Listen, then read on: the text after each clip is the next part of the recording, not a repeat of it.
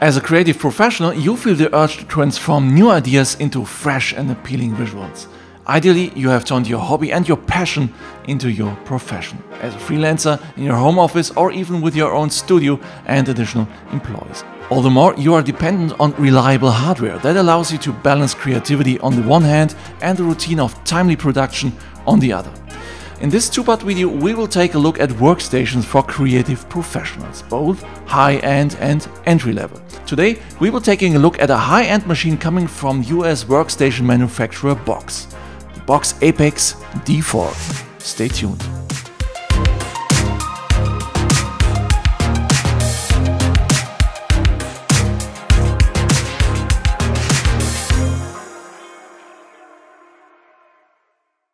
The APEXX D4 is offered by BOXX as a real powerhouse with maximum CPU core count, the possibility of up to 4 professional graphics cards and up to 2 terabytes of RAM. And indeed, our configuration also offers a lush high-end equipment. Two Intel Xeon Gold 6248R CPUs with 24 cores each, 96GB of DDR4 ECC RAM and an NVIDIA Quadro RTX A6000 card with a crisp 48GB of ECC VRAM. The machine is built in the USA, the price of this configuration is around 10,500 US dollars. So let's see if this investment pays off.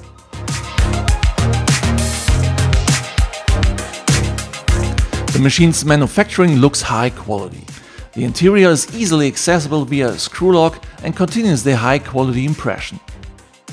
An Asetek liquid cooling system surrounds the two Intel Xeon CPUs on a Supermicro X11 board, and NVIDIA's flagship card RTX Quadro A6000 sits discreetly in the uppermost of the four PCIe 16 slots. This is how our understatement looks in the high-end sector. First, we will take a look at the two installed Intel Xeon Gold 6248R CPUs. They each offer 24 physical cores with a base clock of 3 GHz and a turbo clock of 4 GHz. With hyperthreading, 96 threads are here at work, an ideal condition for CPU rendering. So let's take a test drive with Maxon Cinebench. The result in Cinebench is an impressive 48,183 points almost on par with the performance of a dual Xeon Platinum 8280M setup that is almost three times as expensive. Therefore, for creative professionals, Intel Xeon Gold CPUs clearly outperform their massively more expensive Platinum counterparts.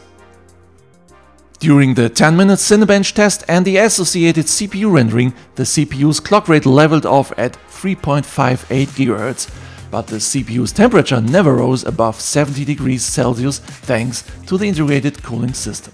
The noise development on the other hand is audible and around 57 decibel.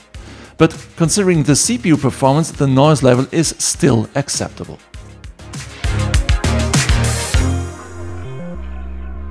Before we look at the performance in Adobe After Effects, let's take a look at the available hard drives. Our configuration of the BOXX APEXX D4 offers one slot for M2 NVMe disks. I use this in the form of a 2TB disk for the Windows 10 system and data.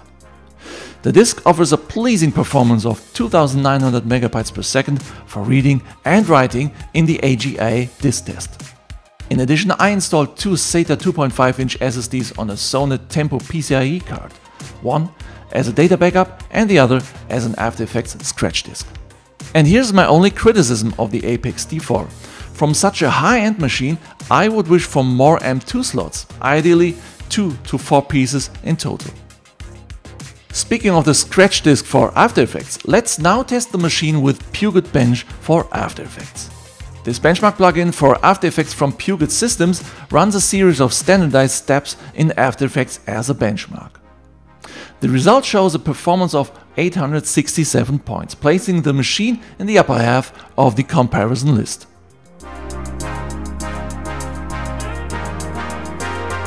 Let's move on to the GPU. The installed NVIDIA Quadro A6000 is currently the most memory-intensive classic workstation graphics card on the market. It has a full Ampere set of 10752 CUDA cores for GPU rendering, an impressive 48GB ECC VRAM and 4x 8K display support. The card completed the Redshift benchmark in 2 minutes 51 seconds, which puts it on par with the last card I tested, an RTX 3090 Suprim X. Link to the review in the video description. In the practical test with Redshift for Cinema 4D, however, the Quadro A6000 prevails over the 3090. The A6000 renders the first frame of my animation Light is Just Fine now in 7 minutes 47 seconds, while the RTX 3090 Suprim X needs 7 minutes 51 seconds and an RTX 2080 Ti takes 50 minutes 46 seconds.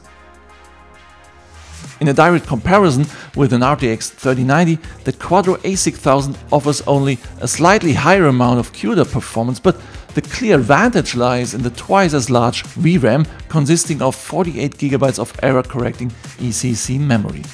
Therefore, large 3D scenes with a lot of geometry and textures lead to out of core scenarios much later. The GPU temperature during rendering with Redshift reaches a maximum of 78 degrees. The area around the display port connectors gets noticeably hot, but the noise level of just 48 decibels stays within very moderate limits. However, in the AI-based upscaling of video in Topaz Video Enhance AI, the A6000 clearly outperforms the 3090.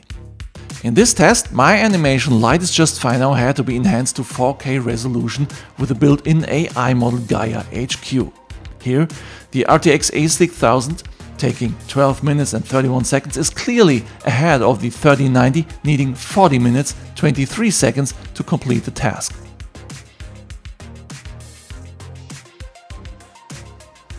The BOXX APEXX D4 with 48 cores of Xeon Gold render power, 96GB of ECC RAM and an Nvidia Quadro A6000 offers outstanding performance for daily use in 3D animation, visual effects and 3D visualization. The machine's focus is on rendering highly complex 3D scenarios on the Intel Gold CPUs or the installed Nvidia RTX Quadro A6000. The price of 10,500 US dollars quickly pays off in continuous use for customer projects due to a lot of performance reserves and the high build quality. I can therefore clearly recommend the BOXX APEXX D4 as a powerful high-end machine for creative professionals.